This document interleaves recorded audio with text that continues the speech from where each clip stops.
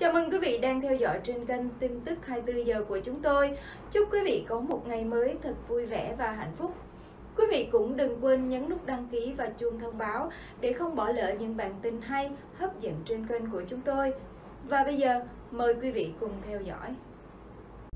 Sốc độc lạ, người sói là có thật, thậm chí lấy vợ sinh và có 7 con. Bạn có tin rằng Beauty and the Beast, người đẹp và quái vật, câu chuyện nổi tiếng về mối tình lãng mạn giữa Bella và quái vật được truyền thể thành phim lại bắt nguồn từ một câu chuyện có thật trong lịch sử. Đó là câu chuyện về cuộc đời hạnh phúc và cũng đấm nước mắt của chàng thanh niên người Tây Ban Nha Petrus Gonçalves, sinh năm 1537 tại quần đảo Canary. Petrus mắc hội chứng rậm lông di truyền hay còn gọi là hội chứng người sói. Căn bệnh đột biến gen hiếm gặp này làm cho gương mặt và cơ thể Petrus phủ kín một lớp lông dày rậm, trông như người sói trong truyền thuyết. Điều đó đã khiến cuộc đời của Petrus lâm vào bi kịch vì không được đối xử như một con người bình thường. Hoàng thất quý tộc của châu Âu vào thời đó có một loại truyền thống bất thành văn, đó chính là lấy việc sở hữu loài vật đặc biệt để chứng tỏ địa vị của bản thân. Vì vậy, cha của Petrus lấy đứa con trai mới 10 tuổi của mình làm lễ vật, dâng tặng cho vua Henry II của nước Pháp vào ngày nhà vua đăng quang.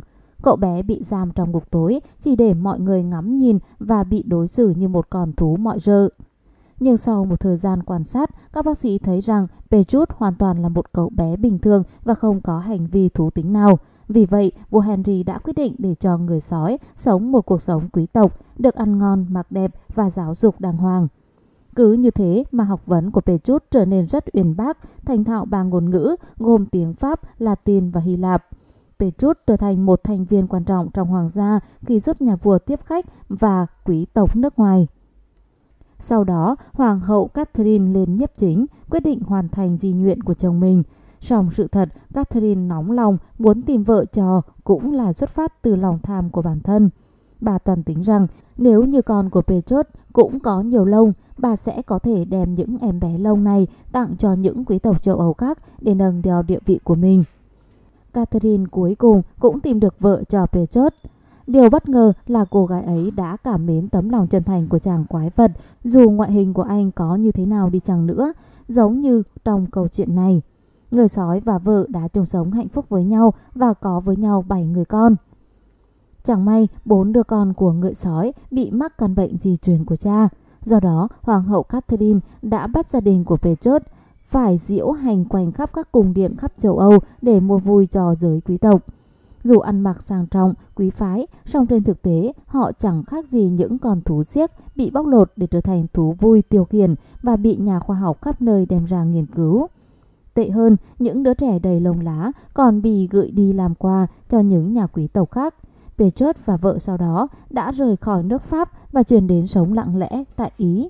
Họ đã sống cùng nhau hết phần đời còn lại, một cuộc sống vô cùng bình dị mang theo trong hình nỗi đau phân ly đến hết cuộc đời. Hạnh phúc và khổ đau, yêu thương và ly biệt có lẽ là cái kết cho người đẹp và quái vật ngoài đời thật. Cảm động trước câu chuyện của Petrus, hơn 100 năm sau, tác giả người Pháp đã lấy hai vợ chồng Petrus làm nhân vật chính, viết nên tiểu thuyết La Bella et la Bella vào năm 1740. Đây cũng chính là phiên bản câu chuyện Người đẹp và quái vật mà chúng ta biết đến ngày nay. Thú vui trời xa xỉ của Từ Hy Thái Hậu khiến người hầu khiếp sợ, thần dần phẫn nộ. Chỉ vì muốn thỏa mãn thú vui và sở thích của mình, Từ Hy Thái Hậu không mang tiền bạc, sức người, thậm chí là tính mạng của người khác để được vui vẻ.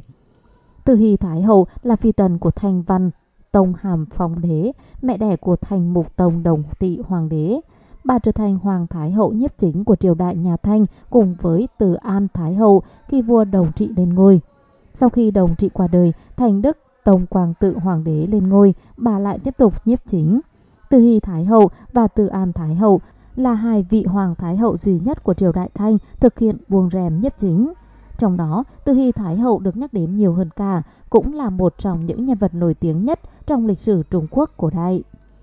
Nhắc đến Từ Hy Thái Hậu, ngoài khả năng chính trị hơn người và cuộc đời đầy phong ba, nhưng không kém phần ly kỳ, không thể không nhắc đến thói ăn chơi xa xỉ, khác người của bà.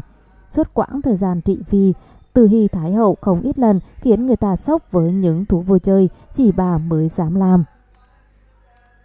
Ném tiền mua vui với sự giàu có, tài sản không kể hết của mình, Từ Hy Thái Hậu có một thú vui là ném tiền cho người hầu kẻ hạ tranh cướp, mua vui cho bản thân. Chẳng mang đến số tiền bị mất đi, bà chỉ cần nhìn thấy những kẻ tầm thường tranh nhau cướp những đồng tiền của mình để được cảm thấy thỏa mãn. Từ Hy Thái Hậu sẽ sai người bê một giường tiền ra sân. Số tiền này lớn tới mức phải vài thái giám mới bê ra được. Sau đó, Thái Hậu sẽ tự tay vùng tiền như đang phát giấy. Ở dưới, người hầu kẻ hạ, từ cung nữ tới thái giám sẽ thi nhau nhặt tiền, thậm chí là tranh nhau. Đôi khi, ngay cả những cách cách hay phúc tấn trong hậu cung cũng tham gia cuộc vui này. Dù số tiền không quá lớn, nhưng họ vẫn phải vờ tranh nhau, tỏ ra thật thích thú để lấy lòng Thái hậu. Nếu Thái hậu không vui, hôm đó chắc chắn sẽ có người bị trừng phạt, thậm chí liên quan tới tính mạng. Những người bên dưới càng tranh nhau kịch liệt thì bên trên Từ Hy Thái hậu càng hả hê. Để thỏa mãn thú vui thường ngày của bà, không biết bao nhiêu tiền bạc bị tiêu tốn, thâm hụt quốc khố. Trong khi đó, bách tính vẫn phải sống khổ sở, do đó không ít người tỏ ra phẫn nộ nhưng không thể làm gì. Đi tất lụa, nước rửa chân theo thời tiết.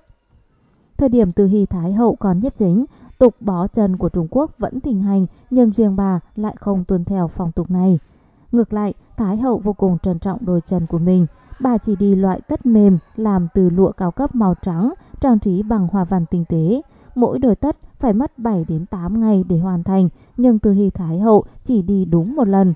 Mỗi năm bà tốn tới 3.000 công thợ và 10 vạn lạng bạc để làm tất. Ngoài ra, nước rửa chân dành riêng cho Từ Hy Thái Hậu cũng phải vô cùng đặc biệt. Vào những ngày nắng nóng, nước rửa chân của bà phải được đun từ Hòa Cúc, Hàng Châu. Vào ngày trời trở lạnh, phải dùng đu đủ nấu với nước để rửa chân. Tùy vào tình hình thời tiết mỗi ngày, người hầu và ngự y trong cung phải thay đổi các loại dược liệu để đem đến loại nước rửa chân ưng ý nhất cho Thái hậu. Bữa tiệc cầu kỳ nhưng vô cùng kinh dị. Từ Hy Thái Hậu đã từng thiết đãi phái đoàn đến từ phương Tây vào năm 1874 với một bữa tiệc xa hoa ngút trời, vô cùng cầu kỳ và đắt đỏ. Bữa tiệc dành cho 400 khách đã tiêu tốn ít nhất 400 lượng vàng với 140 món ăn, 1.750 người phục vụ kéo dài suốt một tuần. Điều đặc biệt nhất của bữa tiệc này chính là những món ăn vừa ngon miệng lại vừa kỳ lạ và kinh dị, trong đó phải kể đến sầm thử, chuột bao tử ngâm sâm cả con, não hầu, não của con khỉ, tượng tĩnh, tinh khí của con voi, trư vương, một giống heo quý, sơn dương trùng, Sơn Dương là dê núi, trùng là con giòi. Trứng công, trứng của con công. Trượt băng Từ Hy Thái Hậu rất thích trượt băng nhưng nó không giống với tưởng tượng của nhiều người là đeo giày và tự trượt trên băng, mà là ngồi trên xe và có người hầu kéo trên băng. Vào mùa đông, sân của Tử Cấm Thành trở thành một sân băng lớn khi nước đọng trên đường đi và đông cứng thành băng, vô cùng trơn trượt. Lúc này, Từ Hy Thái Hậu sẽ sai người thực hiện trò tiêu khiển của mình. Bà sẽ ngồi trên một chiếc xe trượt được thiết kế đặc biệt. Phía trước sẽ có một đám thái giám dùng sức kéo xe di chuyển trên băng. Vì chiếc xe rất nặng nên có khi phải 20 đến 30 người mới kéo được. Mỗi lần từ Hy Thái Hậu muốn trượt băng, từ thái giám đến cung nữ đều vô cùng khổ sở vì vừa phải chạy theo hầu hạ, vừa phải dùng hết sức kéo xe trong mùa đông lạnh buốt, đôi khi còn bị ngã đau đớn mà không dám kêu vì sợ ảnh hưởng tới nhã hứng của Thái hậu.